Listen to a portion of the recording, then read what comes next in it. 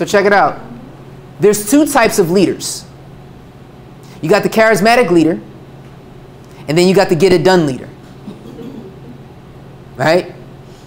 I think this is the get it done leader right here. Okay?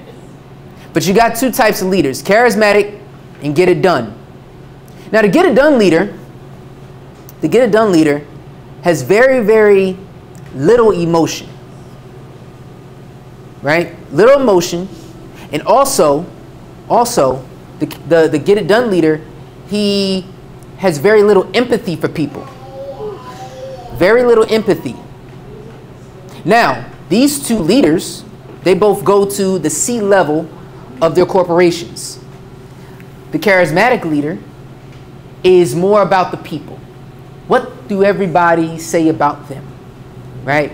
They care about what people say about them. They care about, you know, how people feel. They're all in everybody else's feelings. Okay? Matter of fact, they're so smart that sometimes they hire other people to do certain projects, right? So they, they, they can get a job done. Hiring other people that are smarter than them to get a certain thing done. But the get it done leader is somebody who is, I'm going to get it done. This is what you're going to do, and doesn't have a problem with firing anybody. If you're not going to get it done, then that's just what it is. However, my question is can that type of thinking survive on the C level? Can you be this, this person that has no empathy for people, fire whoever, not really care about their feelings at all? Or can you be the person at the C level that has empathy for people, understands who you are and what you actually need? What do you guys think? Who was the one that made it? Was it the get it done leader or was it the charismatic leader? Dominique?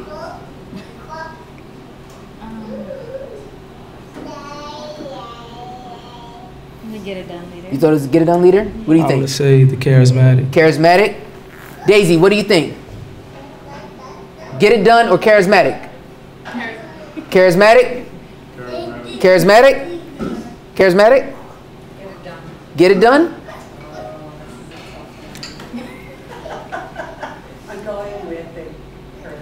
Charismatic. Charismatic? Get it done. Charismatic? Cam, what you think? Charismatic. Okay. For everybody that shows charismatic, you're wrong. you are wrong. You are wrong. Here's why. Because guess what? What got you here won't get you there. What got you here won't get you there. The reason why the charismatic leader didn't go to the next level or stay in the C suite is because he wasn't willing to bat lefty. You got to understand that batting righty got you here to the big leagues. But sometimes the coach is going to say, hey, I need you to bat lefty during this particular situation. What are you going to do? So the get it done leader said, you know what? I am going to learn how to have empathy for people. I am going to learn that sometimes I'm going to have to go outside and get other people to do certain things because that is the right thing for the particular job. Versus the charismatic leader, he was afraid to fire somebody when needed. He was afraid to, to, to get under somebody else's skin. He was afraid of what people would say about them. So therefore, the charismatic leader said, you know what? I'm going to go down to mid-level and lower level management because that's where I belong. I'm not willing to go to the next level. But the get it done leader said, you know what? I'm going to bat righty and lefty. And I'm going to go to that next level no matter what. I'm going to have logic and emotion. And I'm going to learn how to use them in their proper place. Right? If y'all feel that, say, all right, come on now. Okay? Now here we go. Here's the last part of the exercise.